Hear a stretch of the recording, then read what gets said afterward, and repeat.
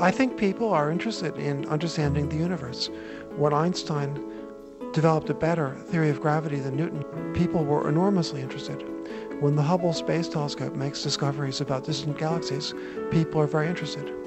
Understanding elementary particle physics is part of the quest of trying to understand the universe. Few scientists have contributed more to our grasp of the universe than Edward Witten. He is a world leader in string theory, an attempt by physicists to describe the forces of nature in one unified way.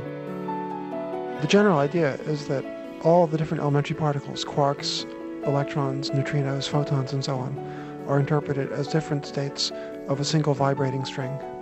Different forms of oscillation of the string represent different particles.